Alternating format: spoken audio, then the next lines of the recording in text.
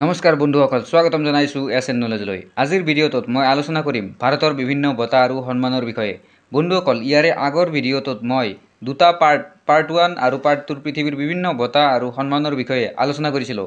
আজি মই ভাৰতৰ বিভিন্ন বঁটা আৰু সন্মানৰ বিষয়ে আলোচনা কৰিম। তো বন্ধুসকল ভিডিঅ'টো শেষলৈকে চাই থাকক।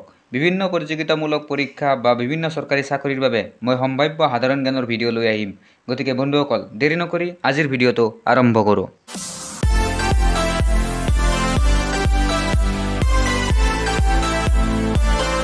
আজিৰ ভিডিঅ'ৰ টপিকটো হ'ল ভাৰতৰ বিভিন্ন বঁটা আৰু সন্মান। তো প্ৰথমে আলোচনা কৰোঁ ভাৰত ৰত্ন। ভাৰত ৰত্ন আমাৰ দেশে প্ৰদান কৰা সৰ্বোচ্চ অসামৰিক সন্মান সাহিত্য কলা বিজ্ঞান সমাজসেৱা আদি ক্ষেত্ৰত বিশিষ্ট সেৱা আগবঢ়োৱা ব্যক্তিক এই সন্মান প্ৰদান কৰা হয়। কেৱল আমাৰ দেশৰ ব্যক্তিকে নহয় বিভিন্ন ব্যক্তি যেনে খান আব্দুল গফুৰ খান পাকিস্তানৰ নেলছন মেণ্ডেলা দক্ষিণ আফ্ৰিকাৰ আদিকো এই সন্মানেৰে বিভূষিত কৰা হৈছে।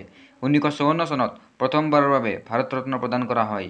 ঊনৈছশ চৌৱন্ন চনত চক্ৰৱৰ্তী ৰাজগোপালচাৰী সৰ্বপল্লী ৰাধাকৃষ্ণন আৰু চন্দ্ৰশেখৰ ভেংকটৰমণক এই সন্মান যচা হৈছিল। পৰমবীৰ চক্ৰ শত্ৰুৰ বিৰুদ্ধে যুঁজি অতি বিক্ৰম আৰু সাহসিকতাৰ পৰিচয় দিয়া ব্যক্তিক পৰমবীৰ চক্ৰ প্ৰদান কৰা হয়। মহাবীৰ চক্ৰ স্থল জল বায়ু যিকোনো স্থানতেই অতি বিক্ৰমেৰে শত্ৰুৰ বিপক্ষে যুঁজ দিয়া ব্যক্তিক এই বঁটা প্ৰদান কৰা হয়। বীৰ চক্ৰ স্থল জল বায়ু যিকোনো স্থানতে শত্ৰুৰ বিপক্ষে যুঁজ দি পৰম বিক্ৰম আৰু সাহসিকতাৰ পৰিচয় দিয়া ব্যক্তিক এই বঁটা প্ৰদান কৰা হয়। অশোক চক্ৰ। অশোক চক্ৰ হ'ল বীৰত্বৰ বাবে দিয়া সৰ্বোচ্চ অসামৰিক পদক। অতি বিক্ৰম সাহসিকতাৰে নিজৰ জীৱন বলিদান দি হ'লেও শত্ৰুৰ বিৰুদ্ধে যুঁজ দিয়া ব্যক্তিক এই সন্মান যচা হয়।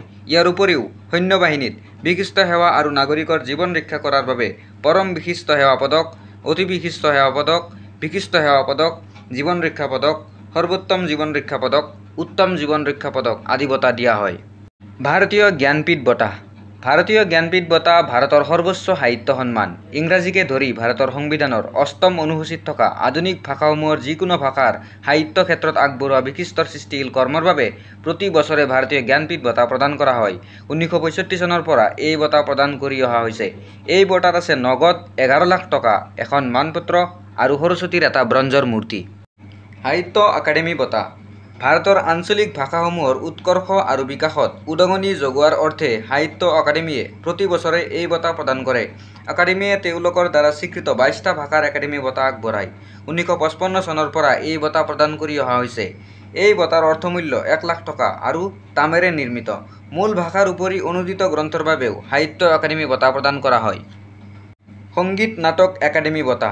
সংগীত, নাটক, নৃত্য আদি বিভিন্ন বিষয়ত আগবঢ়োৱা বিশিষ্ট সেৱাৰ বাবে এই বঁটা প্ৰদান কৰা হয়। এই বঁটাৰ মূল্য এক লাখ টকা। ললিত কলা একাডেমী বঁটা। ভাৰতীয় চিত্ৰকলা, ভাস্কৰ্য আদিত শ্ৰেষ্ঠত্ব প্ৰদৰ্শন কৰা ব্যক্তিক ভাৰতৰ ললিত কলা একাডেমীয়ে এই পুৰস্কাৰ প্ৰদান কৰে। অৰ্জুন বঁটা। ক্ৰীড়াৰ ক্ষেত্ৰত দেখুওৱা বিশিষ্ট সফলতাৰ বাবে অৰ্জুন বঁটা আগবঢ়োৱা হয়।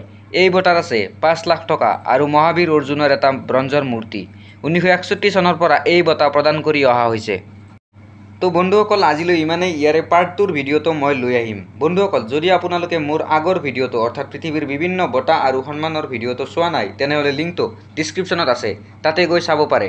বন্ধুসকল চেনেলটোত যদি নতুন হয় তেনেহ'লে এছ এন নলেজ চেনেলটো ছাবস্ক্ৰাইব কৰিব যাতে বিভিন্ন প্ৰতিযোগিতামূলক পৰীক্ষাত আহিবলগীয়া সম্ভাৱ্য সাধাৰণ জ্ঞানৰ প্ৰশ্নৰ আপডেটবোৰ পাই থাকে। তো আজিলৈ ইমানেই। আকৌ পাৰ্ট টুৰ ভিডিঅ'টো লৈ পুনৰ লগ পাম।